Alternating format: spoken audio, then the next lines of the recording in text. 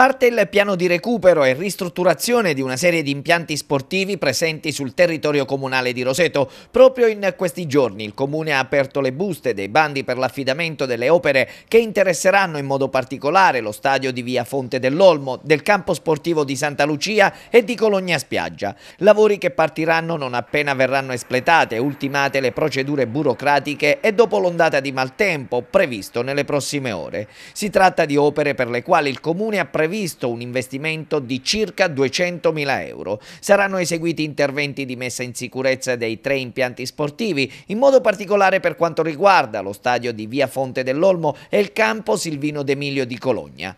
Per il vice sindaco Simone Tacchetti si tratta di lavori necessari e che erano stati programmati già l'estate scorsa.